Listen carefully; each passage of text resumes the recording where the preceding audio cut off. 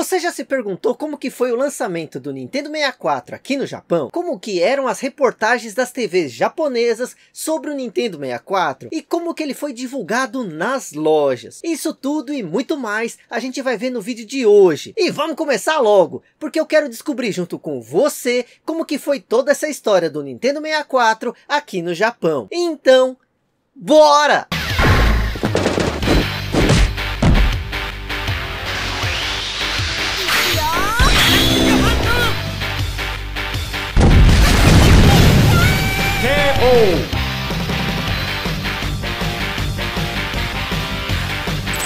Sexta geração de videogames caseiros começa com o Fujitsu FM Tal Smart, no dia 20 de fevereiro de 1993. E 1993 foi um grande ano para lançamentos, pois o Pioneer Laser Active também deu suas caras nesse ano no dia 20 de agosto. No dia 14 de setembro foi a vez do Amiga CD32. A grande promessa 3DO chegou às lojas em outubro no dia 4. O Atari Jaguar em 18 de novembro, fechando o ano de 1993. No dia 23 de outubro de 1994, a Bandai entra no mercado com seu Play Dia, juntamente com a Capcom Power System, ou CPS Changer. A esperada SEGA chega com seu Sega Saturn em novembro no 22º dia. Abrindo dezembro, a estreante Sony lança seu Playstation no dia 3. Na antivéspera de Natal de 1994, em 23 de dezembro, chega a vez do sucessor do PC Engine, o PC FX. O ano de 1995 começa com a parceria entre Apple e Bandai, dando vida ao Pippin, em março. O maior fracasso da Nintendo, o Virtual Boy, é de julho de 1995. Em outubro, o videogame voltado para o público feminino, o Casio Loop aparecia. Nesse mesmo mês, o videogame que parece clone do Super Nintendo, mas não é, o Super Akan também é lançado. Aí, o último console da sexta geração de videogames só chegaria no dia 23 de junho de 1996. O Nintendo 64. Bem atrasado, né? E ó, Vale lembrar que eu deixei de fora muitos outros videogames da sexta geração, por serem desconhecidos demais. E tem também os que eu não citei, porque são da geração anterior, mas que foram lançados posteriormente como uma nova versão, como por exemplo o Neo Geo CD, o Atari Jaguar CD, ou o Nintendo Satellaview e o 32X, que são add-ons, além dos portáteis dessa geração, como o Philips CDI portátil, o Tiger R-Zone, o Sega Nomad, o Nintendo Game Boy, entre tantos outros. É sério, nessa geração, o Nintendo 64 foi o último de todos a ser lançado. Conhecido, desconhecido, portátil, para você ver como aguardavam esse videogame na época. Afinal, ele era do líder da geração anterior, a Nintendo. E claro, o vídeo de hoje é sobre o lançamento do Nintendo 64 aqui no Japão. E a primeira pergunta que vem à mente é, o japonês estava ansioso pelo Nintendo 64? E te respondo com um estrondoso sim. Para você ter uma ideia, teve programa de TV em que mostrava as filas que os videogames daquela época faziam. E dando destaque para o grande lançamento daquela época, o jogo de luta Tekken 2, que era um sucesso tanto nos game centers como em casa no Playstation. Essas imagens são do torneio Punho de Campeão da segunda edição. Nesse dia teve até cosplay dos personagens do jogo. Na reportagem mostrou também a sede da SEGA, entrevistando nada mais, nada menos que Yu Suzuki, pois a SEGA também tinha o seu jogo de luta poligonal o Virtua Fighter 2, que também estava prestes a ser lançado. Esse vídeo é do dia do lançamento do Virtua Fighter 2, e foi perguntado a esse cara aí quais os videogames que ele mais gosta. E a resposta dele está na legenda da época. Playstation, Sega Saturn, Laser Active e Super Famicom. Logo em seguida mostrava a loja, dando um gancho para o assunto principal que seria abordado dali para frente o Nintendo 64, pois na loja havia o Super Famicom, a versão japonesa do Super Nintendo, competindo com o Sega Saturn, o Neo Geo CD e o Playstation, esses três últimos videogames recém-lançados.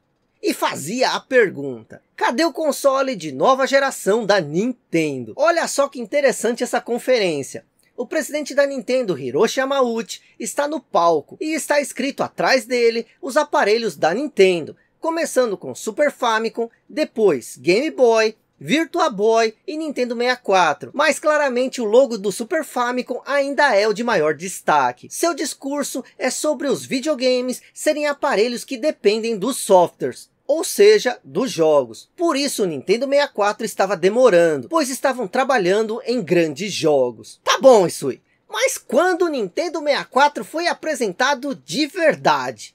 O Nintendo 64 foi mostrado de fato pela primeira vez na Famicom Space World 95. E olha só, o videogame estava com preço de 25 mil ienes, o equivalente na época a 200 dólares, como dá para ver nesse cartaz. E guarde bem essa informação do preço, ok? E claro, o jogo mais celebrado era o clássico dos clássicos, Super Mario 64. Até Shigeru Miyamoto estava naquele dia, e explicou a inovação que era o controle do Nintendo 64, com os analógicos, que davam mais controle e sensibilidade para movimentos mais suaves. Ele também explicou a função do encaixe dos Memory Packs, e como foi o lançamento do Nintendo 64. Quando as pré-vendas começaram, o primeiro lote acabou em minutos nas lojas, ainda mais que haviam máquinas de testes oficiais da Nintendo, para jogar o videogame como você pode ver nessa reportagem. Haviam filas para jogar e só para ver o tal do Nintendo 64. As pessoas entrevistadas não acreditavam no que viam. O Mario em três dimensões era surreal. O vendedor explicava que apesar de não ter tantos games como o Playstation ou Sega Saturn, o Nintendo 64 causou muito mais impacto que os lançamentos dos videogames anteriores daquela geração. E que queria ver a diferença entre os jogos de cartuchos e de CDs. Eu já falei algumas vezes, mas não custa repetir, como que é a pré-venda aqui no Japão. No dia do lançamento de qualquer console ou jogo, dificilmente você vai conseguir comprar sem ter realizado uma reserva. Todo o primeiro lote já foi vendido,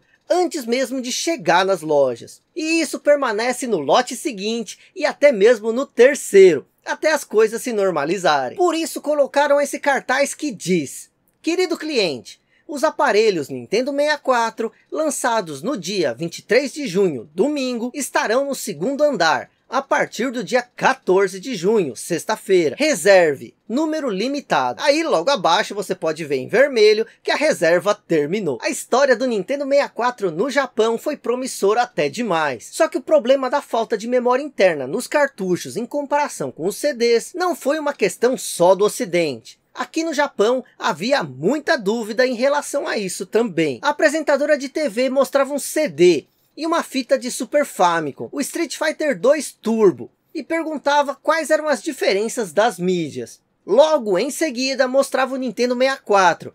E você se lembra, né, que eu falei que ele foi lançado no valor de 25 mil ienes. Pois bem, naquele instante estava a 16.800 quase 8 mil ienes mais barato. E aqui, normalmente, os consoles novos não têm redução do seu valor. Essa redução aconteceu, pois começou a ter uma falta de interesse dos japoneses pelo Nintendo 64. O Playstation era o líder, seguido logo abaixo do Sega Saturn. Isso aqui no Japão, é claro, pois o Saturn teve um êxito comercial maior que o Nintendo 64. A reportagem entrevistou o presidente da Nintendo, Hiroshi Yamauchi, que falou que o Nintendo 64 renderiza melhor melhor gráficos 3D e que tinha o hardware mais poderoso da geração, o que sem dúvida é verdade. Mas a matéria explicava as diferenças das mídias, CD e cartucho, mostrando as vantagens do CD. E olha essa imagem raríssima do Hiroshi Yamauchi jogando Super Mario 64. Dificilmente se via o chefão barra carrasco da Nintendo jogando. O ranking de vendas oficiais aqui do Japão